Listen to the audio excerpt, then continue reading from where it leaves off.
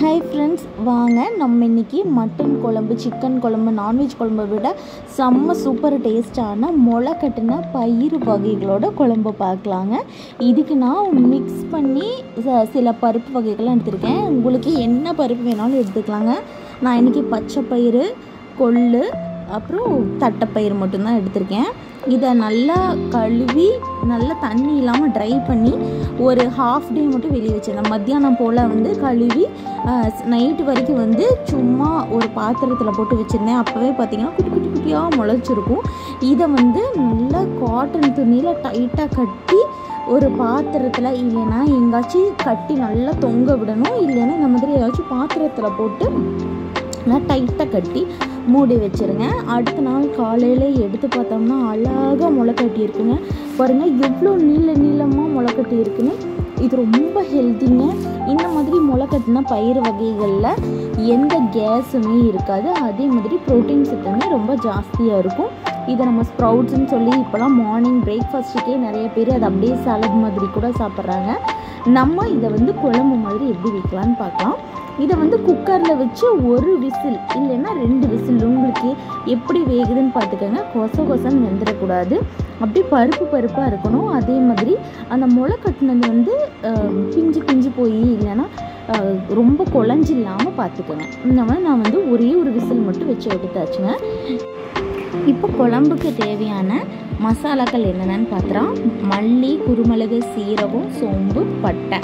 அது கூடவே பெரிய வெங்காயம் கொஞ்சம் சாப் பண்ணி வச்சுருக்கேன். பூண்டு கொஞ்சோண்டு இஞ்சி அப்புறம் தக்காளி. இப்போ நான் வ கடாயில் எண்ணெய் விட்டு நம்ம எடுத்து வச்சுருக்க ட்ரை ஐட்டம்ஸ் எல்லாத்தையும் போட்டு நல்லா வதக்கி எடுத்துக்கலாங்க. இது வதங்க வதங்கவே செம்மையான ஃப்ளேவர் கொடுக்கும் கரம் மசாலா கறி மசாலா ஃப்ளேவர் வருங்க. இதை நல்லா வதக்கி எடுத்துக்கலாம். சிம் ஃபுல் சிம்மில் போட்டு நல்லா மெதுவாக வதக்கி பொறுமையாக எடுத்துக்கோங்க. இது கூடவே நம்ம இப்போ கொஞ்சம் கொஞ்சமாக நம்ம எடுத்து வச்சுருக்க பூண்டு அதுக்கப்புறம் பூண்டு கொஞ்சம் நல்லா வதங்கினதுக்கப்புறமா வெங்காயம் இஞ்சி வெங்காயம் தக்காளி இது எல்லாத்தையும் சேர்த்து நல்லா வதக்கி எடுத்துக்கலாம். இதோட பேஸ் பார்த்திங்கன்னா கறி குழம்பு வைக்கிற பேஸ் தாங்க. இந்த பருப்புக்கு பதிலாக நீங்கள் கறி போட்டு வச்சிங்கன்னா அப்படியே கறி குழம்பு விடலாம் இல்லைன்னா காளான் குழம்பு கூட இந்த பேஸ் வச்சு செஞ்சுக்கலாம். இஞ்சியும் பூண்டும் பச்சை வாசம் போகிற அளவுக்கு நல்லா வதங்கினதுக்கப்புறம் பெரிய வெங்காயத்தை ஆட் பண்ணிக்கலாம். ஆட் பண்ணி இதையும் நல்லா பச்சை வாசம் போட்டு நல்லா வதக்கி எடுத்துக்கலாங்க. இந்த மாதிரி குழம்பு வைக்கிறது ரொம்ப ஈஸி நீங்கள் முளை கட்டி மட்டும் வச்சிட்டிங்கன்னா சட்டுன்னு இந்த குழம்பு செஞ்சிடலாம்.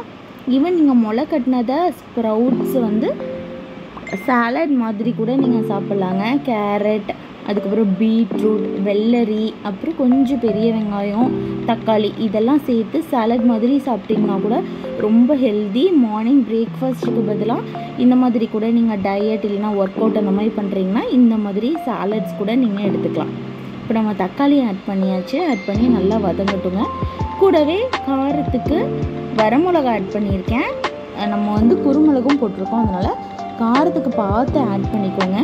அப்படி உங்களுக்கு காரம் கூட குறை இருந்தால் கூட நீங்கள் குழம்பு சேர்க்கும் போது மிளகாய் தூள் ஆட் பண்ணோடனே அதில் அட்ஜஸ்ட் பண்ணிக்கலாம். தக்காளி பாருங்கள் நல்லா தோல் வந்து சுருங்குற அளவுக்கு நல்லா வதங்கிடுச்சு போதும்.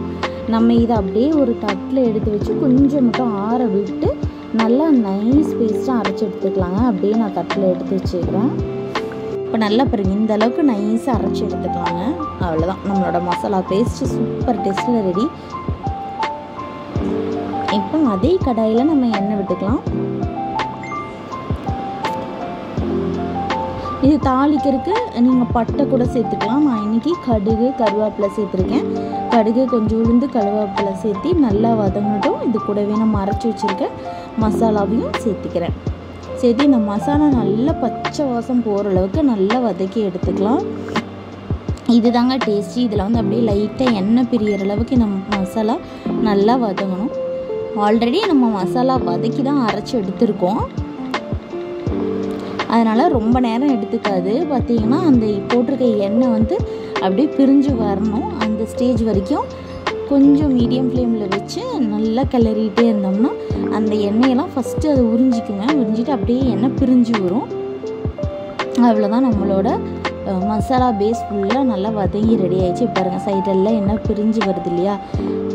அவ்வளோதாங்க இப்போ நம்ம எடுத்து வச்சுருக்க அந்த வேக வச்ச அஹ், பயறு முளை கட்டின தண்ணி இது கூட சேர்த்துக்கலாம்.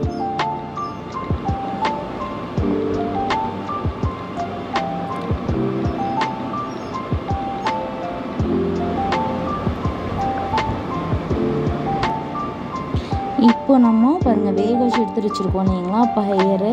இதை வந்து அப்படியே சேர்த்துக்கலாங்க.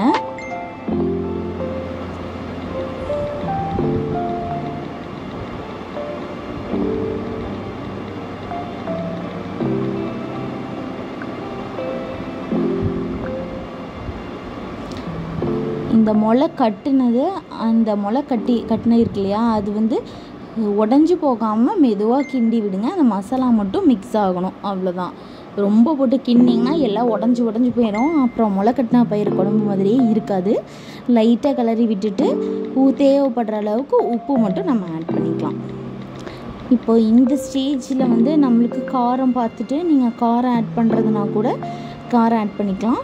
இப்போ நான் கொஞ்சம் மஞ்சள் தூள் போட்டு இது கூட நல்லா கொதிக்க வைக்கணுங்க. இந்த பருப்போட நம்ம போட்டிருக்க மசாலாஸ் ஃபுல்லாக நல்லா பிளெண்ட் ஆகணும் நல்லா கொதிக்கிட்டோம் பாருங்கள் அப்படி அப்படியே இருக்கும். நூல் நூலாக நூல் நூலாக இருக்கும் பாருங்கள் குழந்தைகளுக்கு பார்க்குறக்கே ரொம்ப டிஃப்ரெண்ட்டாக இருக்கும். எப்பயும் ஒரே மாதிரி குழம்பு வைக்கிறோம். எங்கள் வீட்டிலலாம் பச்சை பேர்லாம் சாப்பிடவே மாட்டாங்க. இந்த மாதிரி வச்சு கொடுத்தா டான்னு எல்லாமே ஃபுல்லாக க்ளே க்ளீன் ஆயிரும். அதேமாதிரி தோசை இட்லிக்கு கூட வச்சு கொடுத்தோம்னா நல்லா சாப்பிடுவாங்க. வெறும் பச்சை பயிரெலாம் கடைஞ்சோம்னா இவங்களுக்குலாம் பிடிக்கவே பிடிக்காதுங்க. பாருங்க நல்லா கொதி வருது. ரொம்ப ஃப்ளேவராக இருக்கும். ம இந்த மாதிரி மிக்சடு பருப்பு நம்ம யூஸ் பண்ணுறங்காட்டிக்கு மட்டன் சிக்கன் குழம்பு விடவும் இது ரொம்ப ஃப்ளேவர்ஃபுல்லாக இருக்கும். ரொம்ப மணமாகவும் இருக்கும்.